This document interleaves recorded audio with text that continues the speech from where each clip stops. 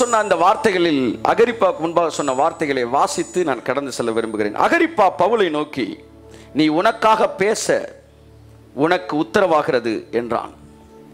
அப்பொழுது பவுல் கையை நீட்டி தனக்காக உத்தரவு சொல்ல துவங்கினான்.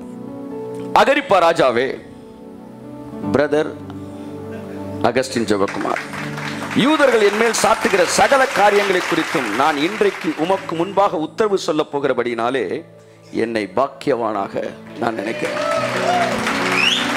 ஆமென்.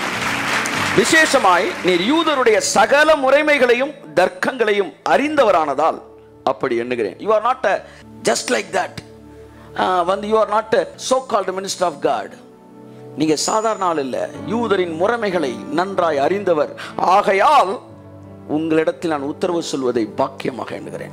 ஆமேன். ஆகையால் நான் சொல்வதை பொறுமையாய் கேட்கும்படி உம்மை வேண்டிக் கொள்கிறேன். இங்கே ஒரு கண்ணியமான கேள்வி கேட்கப்பட்டிருக்கிறது. ஒரு சில கண்ணியமற்ற சொற்களை நாம் பெரிதாக எடுத்துக்கொள்ளக்கூடாது அது சீனியர்ஸ் என் அன்புக்குரியவர்களே நம்பர் ஒன் பதில் சொல்ல வேண்டும் என்று வேதம் சொல்கிறது. நம்பர் டூ காலையில் நான் எந்திரிக்கும் போது திரும்ப நான் ஜெபிச்சேன். ஆண்டவரே இன்னைக்கு என்னுடைய செய்தி இது. ஆனால் யதார்த்தமாக இந்த செய்தி இதுவும் சேர்ந்தே வருது. நான் இதுக்கு பதில் சொல்லலாமா வேண்டாமா? நாலரை அஞ்சு மணி இருக்கும். இதான் மனசுக்குள்ள ஓடுது. அப்படியே கத்தர் பேசினார்ட்ட பவுல் மாத்திரம் அநேக கேள்விகளுக்கு பதில் சொல்லாமல் இருந்திருந்தால் உன் புதிய ஏற்பாட்டில் பாதி உன் கையில் இருந்திருக்காதுன்னு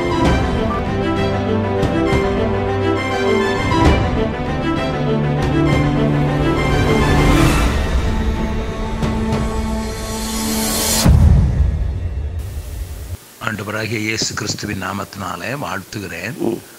எனக்கு மதுரையை சேர்ந்த ஜஸ்டின் அவர்களுடைய பிரசங்கத்தின் ஒரு பகுதி அனுப்பப்பட்டிருந்தது. ஸ்டாப் பிரசங்கத்தின் ஒரு பகுதி. ஆமென். ஒரு பகுதியை வைத்து நீங்கள் பிரசங்கத்தை கணிக்கலாமா?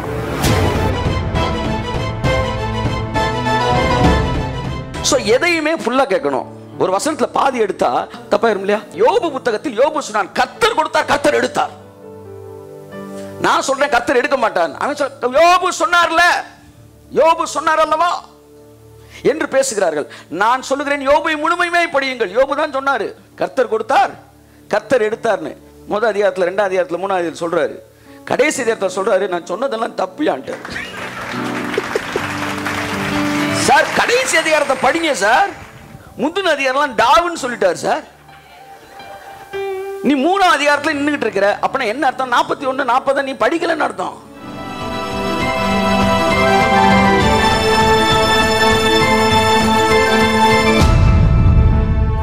அகஸ்டின் அண்ணன் சொல்றதுல ஒரு வார்த்தை என்னன்னா பாவி ஆவது என்றால் என்னவென்றால் பிசாசினால் நிரப்பப்பட்டு பாவம் செய்கிறவனே பாவியாய் பாவி என்று அழைக்கப்படுவான்.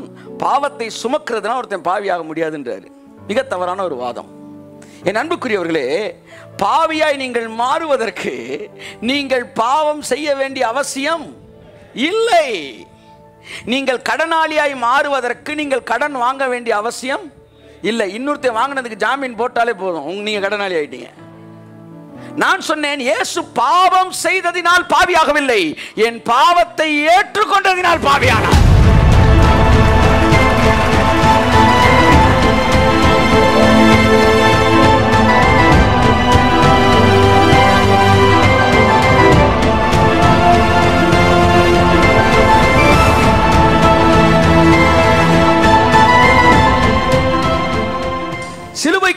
சிலுவைக்கு முன்பாக இயேசுவினிடத்தில் பாவம் இல்லை என்பதை நீங்கள் சொல்லி எங்களுக்கு தெரிய வேண்டிய அவசியம் இல்லை. You know it very well. அவர் பாவம் அறியாத பரிசுத்தர். அவரிடத்திலே பழு ஒன்றும் இல்லை. என்னில் பாவம் உண்டு என்று எவன் என்னை குற்றப்படுத்தக்கூடும் என்று எட்டு நாற்பத்தி ஆறு யோவானில் பேசினாரு. பதினாலு அஹ், முப்பதுல சொன்னாரு என்னிடத்தில் ஒன்றுமில்லை பிசாசுக்குன்னாரு. இது மட்டுமல்ல எபிரேயர் ஏழு இருபத்தி நான்கு சொல்லுகிறது அவர் பாவம் இல்லாதவராக இருந்தார் பாவிகளுக்கு விலகினவராக இருந்தார். இதெல்லாம் ஏன் தெரியுமா? இவ்வளவு ஃபோக்கஸ் பண்றாங்க? இப்படிலாம் இருந்தவர் உனக்காக இப்படி ஆனாரா? சார்.